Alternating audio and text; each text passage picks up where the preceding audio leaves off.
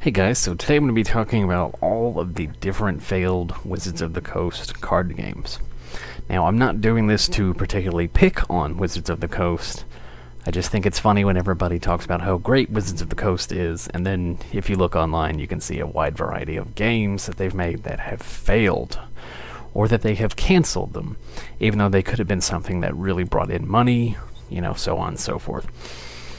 And so, as you can already see in this one picture that I've posted, there's a bunch of different backs to games. Now, I posted that because those are all Wizards of the Coast games that have failed, that are card games. They have had other things fail, or, you know, or they have uh, properties too, but this one is just about card games. so I'm kind of going to go through them and talk about which ones could still be redeemed, you know, like which ones they could have kept around if they had decided to. You know, if they had put something, uh, put more effort into them instead of just focusing 100% on Magic, which is basically what they do. I mean, I know it's the biggest game in the world, but when you make other card games, you should, you know, give at least close to an equal amount of focus. now that we have that out of the way, let's start. So, going from the top left, uh, we have the WCW Nitro trading card game. This was a bad start, anyways, because around the time that this was made, WCW was getting ready to go under and to be bought. So, was this one that could be redeemed for modern play? No. Was it a good game in the first place? No. You can go on YouTube and uh, somebody has done a how to play, and it does not play well. Not only does it not play well, the cards weren't visually good looking. Uh, it just was a poor choice all around.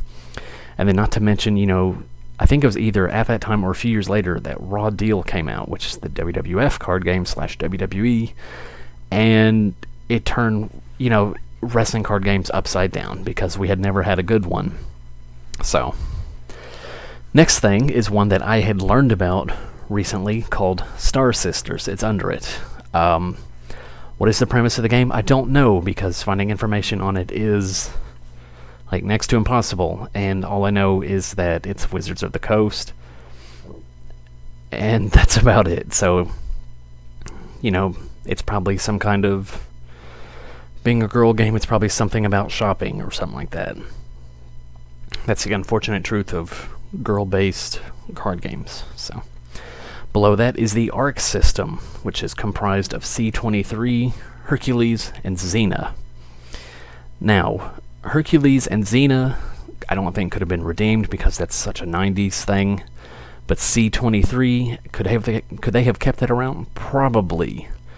Um, it eventually would have been canceled, but it could have definitely lasted longer than what it did. But here's the thing, like it like after Hercules and Xena left, they would have to change the way that it's played almost entirely because it's so it's so minimalistic. It's not even funny. Like it's like Duel Masters is supposed to be an easy way to play um, Magic in a sense, but this is just like even below that. It's just unreal. So um, it might have worked a little bit longer just because of the art style and all of that, and I think it could have been profitable. Next thing is Vampire slash Jyhad. Take the role of a vampire. I mean, it had dark, gritty art.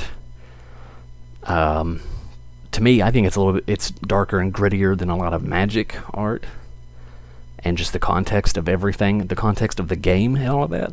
I think it's a great game. Could it have survived? Yes, totally. It could still be, you know, around today.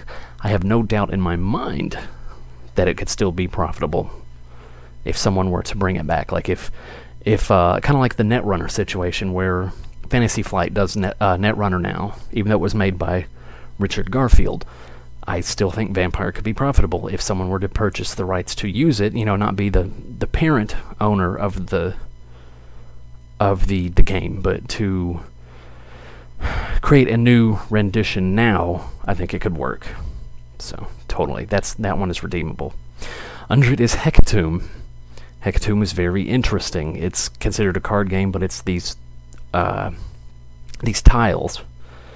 But once again, it's considered a card game, so I put it on this list. Could Hecatomb be redeemed? Yes. Hecatomb could have been saved. I think it would have eventually uh, gone under, but it definitely could have lasted a lot longer than what Wizards did with it. It was very interesting, was very different from everything else on the market. Uh, it still has a following today, just like Vampire and Jyhad have a following.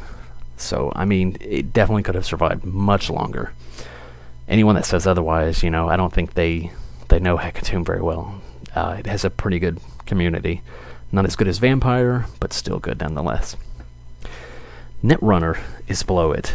Um, Netrunner's a, uh, a fantastic game.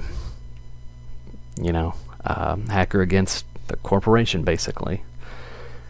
A cyberpunk game, and there's not too many of those. Um, there's a new one that just came out that I well that I just saw stuff on called Megacorps, and uh, it's very interesting as well. And it I feel like it's Netrunner inspired.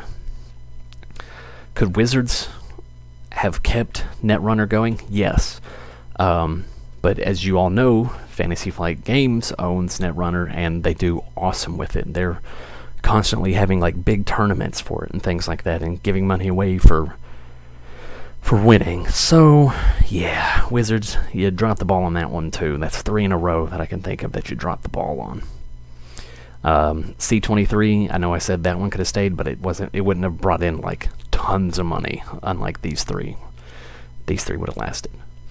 Next one is Kids Next Door trading card game, based on the television show with the five kids in the group and to fight adults, so on and so forth. Uh, this is real simple because no, it wouldn't last. Why? Because it's a temporary um, property because the show eventually went off the air. So once it's off the air, you're kind of done. You you really can't do much with it. It's not like Dragon Ball Z where you can constantly make stuff for it because it still has popularity. Kids Next Door, while it does have its own little following, um, not enough to maintain a game. It's not relevant enough. Okay, so the next row over, we have NFL Showdown, MLB Showdown, and NBA Showdown. I'm lumping them all together because they all play the same. It's just different properties in itself. You know, it's NFL, MLB, NBA. Wow. So, um, you know, it's like playing the sport, and if you if you know the basics of the sports, you'll know how the game is basically going to work. Now, as far as keeping it alive, I don't think it can. I, there's never really been very successful sports card games. There's been a few, like Topps does the Attax games, but those are garbage.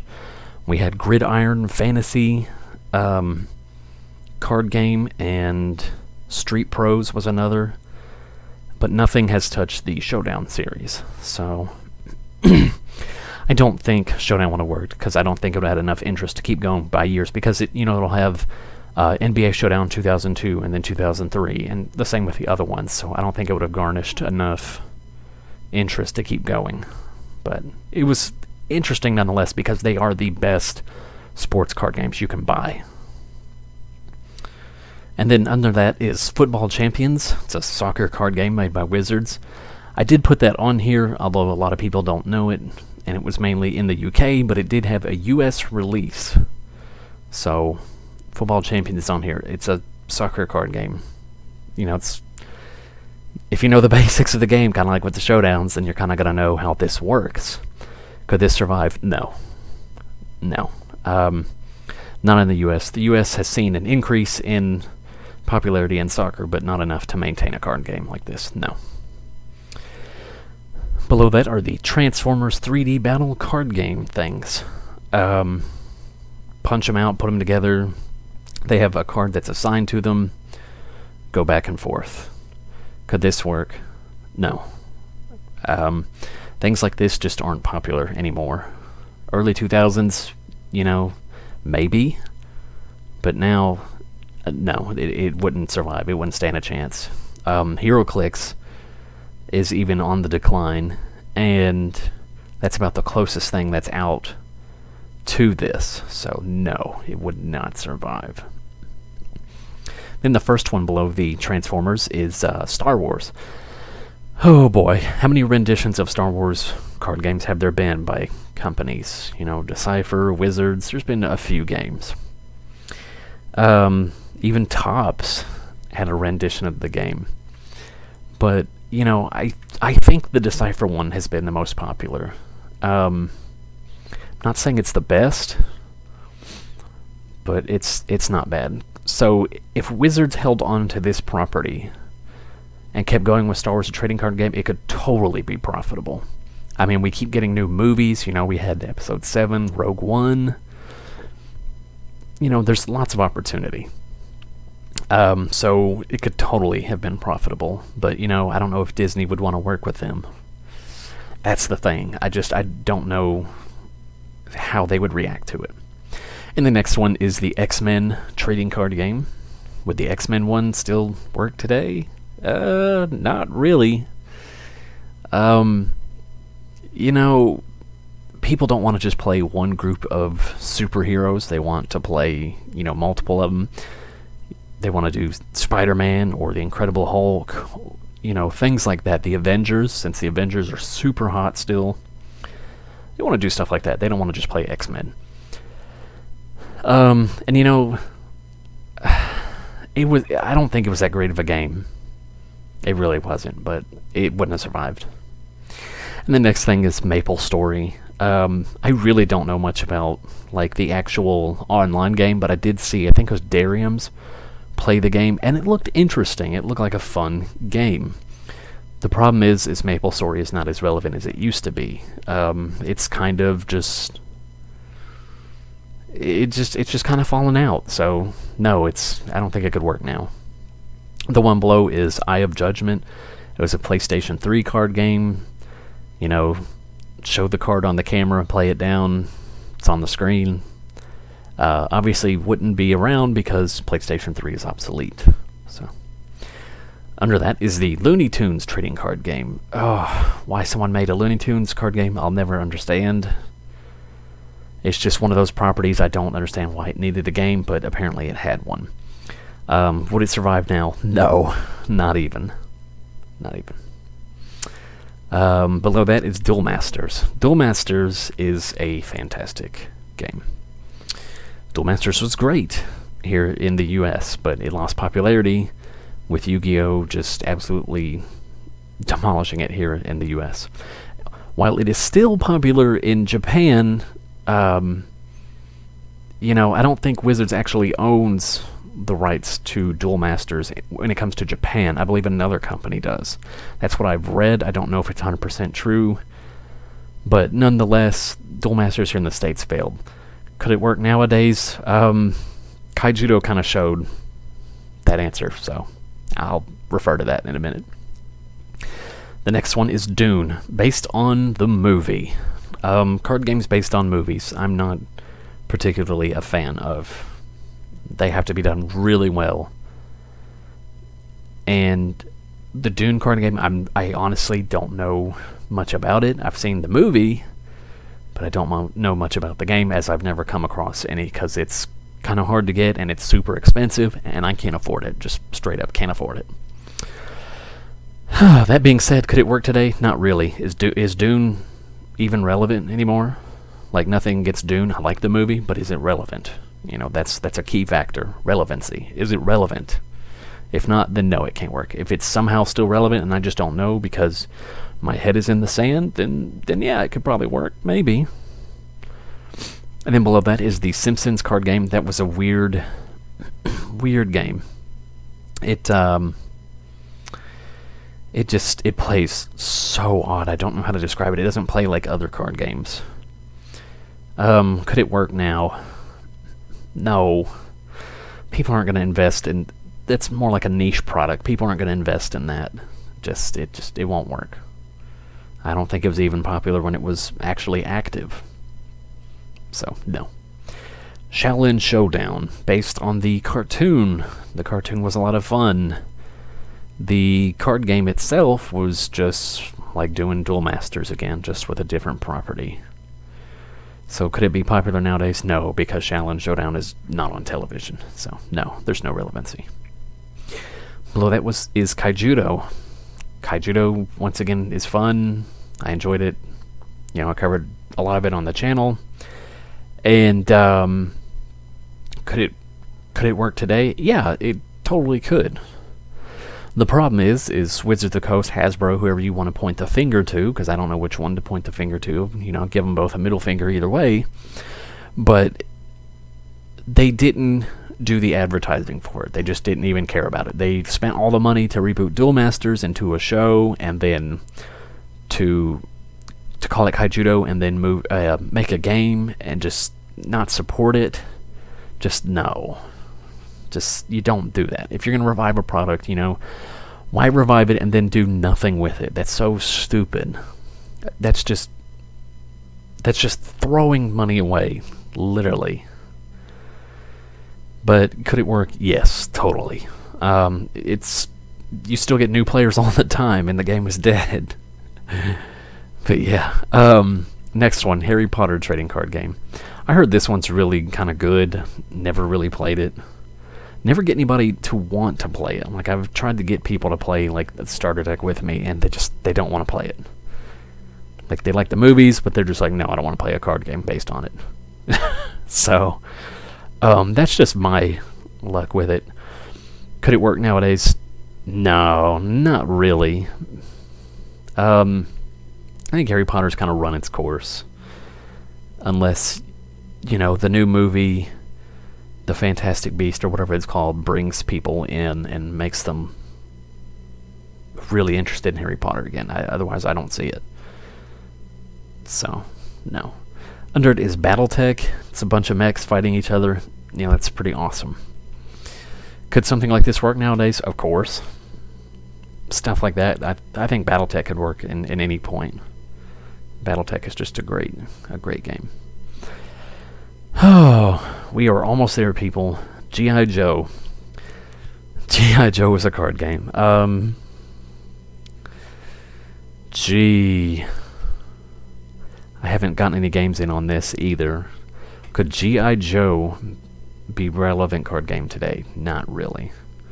Maybe if they had a new cartoon come out of G.I. Joe and it was super popular, Wizards could definitely do it then. As of right now, no. Um, the movies have tanked, so the movies wouldn't do it any justice on getting people to play, so no. No, not at all.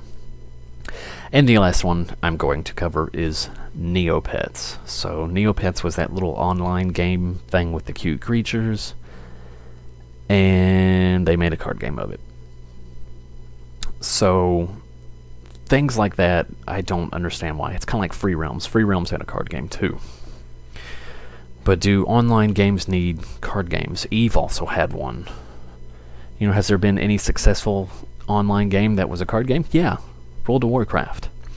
But other than that, has there been any other ones? No, not really. Maple Story was kind of popular, not really. But other than that, no. Um, could this work nowadays? No. Is Neopets even still a thing anymore? I don't think it is. I could be wrong, but if it is, then no, still. Um, people are so invested in the games now. I don't think they could stray away to something like Neopets or any of these that I listed, ex- you know, minus something like Vampire, Hecatomb. You know, those are the two big ones that I could really see bringing people in. Or, um, you know, uh, I think the only other one besides those would be like Netrunner if, if Wizards had it again for some reason. I don't see them doing that, but that could also work. Could Kaijudo work? Not now, at this moment, because, you know, it's worth nothing at this point. Like, booster boxes are worth like 20. That's pretty bad. And nobody just has any interest in the game anymore, you know, except for the, the new players that learn about it and then come to find out, oh, it's dead. Oh, there goes that. But yeah, those are about the only properties. So this was just to kind of give you an insight on, you know, Wizards of Coast past and just things that they have failed on or they've canceled. Now, I will cover other companies. I just do these for like an, an a uh, information purpose, nothing really else. Not trying to bash Wizards, you know if it wasn't for them, then we wouldn't have tons of card games that we have today. So I am actually grateful for that. But uh, Anyways, guys, that's all I wanted to say for this, and I'll see you guys next time.